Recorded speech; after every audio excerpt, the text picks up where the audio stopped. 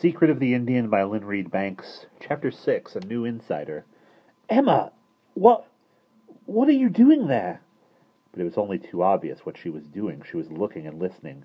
The only question was, how much had she seen and heard? In a forlorn and desperate hope, Omri swiveled his eyes sideways, trying to see what was visible from her angle. Before, when he'd been crouching in front of the desk, he had blocked her view of the seed tray, now that he was on the floor, everything was in plain sight. Matron's little figure standing, arms akimbo, on the edge of the seed tray, Little Bear's pony grazing in the miniature paddock Patrick had made, several tiny Indians busy about the area, rebuilding last night's fire from the unburned end of, matchstick, of matchsticks and twigs, and the longhouse rising from the ground in all its miniature and all its minute handmade magnificence. But Emma was not looking as far as that. On the low table that stood between her and Omri was the cupboard and the five Indians. They were chanting and doing a slow dance around the white paper packet. It was upon them. Omri saw that Emma's eyes were riveted. There was nothing to be done. Not zilch, zippity doo dah, zero. And when that's the case, thought Omri in a sudden mood of fatalism, you might as well relax. Well, he said, his voice coming out quite steady, what do you think? She stared at them for a long time, her eyes fixed and unblinking, her freckles standing out on a sudden very, on a suddenly very pale face. "They're alive," she said at last, in a doubtful tone, as if he might roar with laughter at her. "You don't say!" said Omri, scrambling to his feet.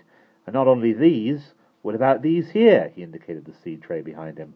Emma moved cautiously forward, as if afraid the very floor might waver and give way beneath her feet. He noticed now that she had a mug of tea that she had a mug of tea in her hand, the one he'd saved from breakfast.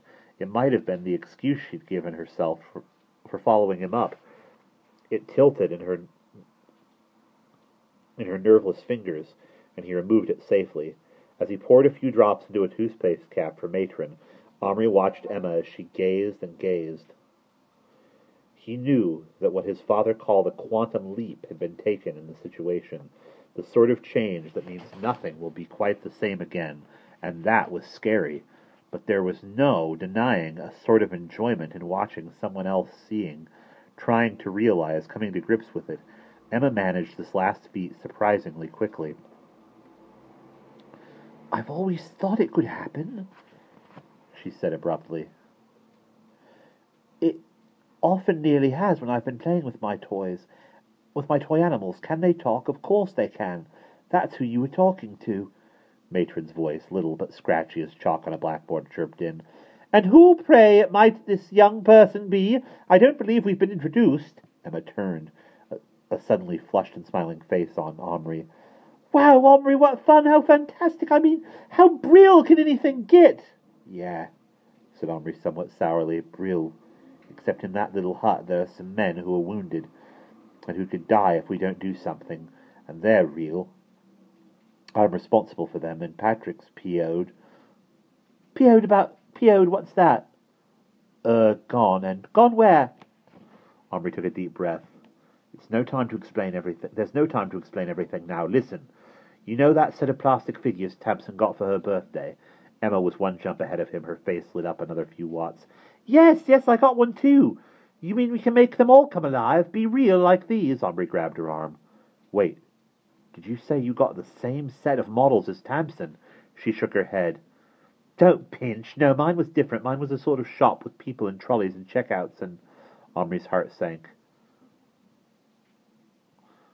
Not doctors. She shook her head. No, I wanted doc doctors and all that, but Tam wouldn't swap. Omri said, Would she sell hers? Got the odd hundred quid, have you? said Emma cynically. I've got the odd five quid, Emma frowned, considering. She might not be able to resist. She's saving for a skiing holiday. Patrick's got another fiver, said Omri. I could. He turned automatically toward the chest, then stopped. Uh, listen, Em. I'm prepared to let you in on most of this. Well, you are in on it, but there's a couple of wrinkles that you might not exactly feel comfortable about not just at first. So would you mind going downstairs for a few minutes? Then I'm going back to your place with you, and we'll negotiate for the models with Tam. She hesitated. And then come back here and Do whatever it is you do to make them come alive. Omri looked at her. Now she knew about the little people. She didn't yet know about the magic, how to make it happen. She didn't really know much when you came right down to it. There wasn't a lot she could give away, not that anyone would believe. And that was the nitty gritty, not her knowing, but her maybe telling. Could he trust her? Could one trust anyone with a secret as exciting as this? We'll have to have a serious talk, he said. On the train. Just now I want you to go out. Please, Em. They looked at each other. He actually saw her decide to give way. Whether to please him or for reasons of her own, he wasn't sure. It didn't matter anyway. Anyhow. Just so she went. The second she was outside, he shot the bolt and made sure that he rushed to the cupboard, took the key out, stuck it back in the chest, and turned it. Patrick lay curled up as Omri had seen him once before, and he remembered his thought the other time. As far away as you can get without being dead. It was tempting to stand there, losing himself in the speculation about where the real Patrick was. But there was no time for such thoughts. Reaching into the chest, Omri fumbled in Patrick's pocket for the five-pound note, and touched something that made him snatch his hand away with a yelp as if he'd burned it. There was something alive in Patrick's pocket. Omri stood there with his heart in his gullet. It wasn't a person. It was a tiny animal of some kind, with fingertips. Omri, with his fingertips, Omri felt that much. Patrick must have had something plastic in his pocket, and when he was locked in the chest it had come to life. Cautiously, Omri stuck his fingers into the pocket again. Yes, there it was, something small, smooth-coated and bony. He took hold of it gently as he could, and feeling it struggle and twist, he drew it out. It was a very distressed black horse, complete with an old Western-style saddle and bridle. Boone's horse, his new one, that Patrick had taken from the English soldier. Omri set it down very gently in the paddock on the seed tray, where Little Bear's pony was tethered with a double-ply nylon thread. It threw up its head as the intruder descended from the heavens, and whinnied anxiously, but as soon as the black pony's feet were on the ground, and it had given itself a good shake, both their heads dropped to graze the turf of real grass Patrick had dug up and laid there. Omri smiled in relief. Evidently Boone's pony was all right, though he wished he could take off its bridle and saddle. Boone must have put his old tack on before Patrick had sent him back. Suddenly Omri went rigid, his brain fizzing with the shock of the realization that had come to him. But now, but how could they have been so stupid? In all the haste and hassle of getting Patrick sent back, they'd forgotten, forgotten the way it worked. Patrick had the plastic figure of Boone in his hand, not the real live Boone. That meant, that meant that Boone, like his horse, would be, have become real inside the chest.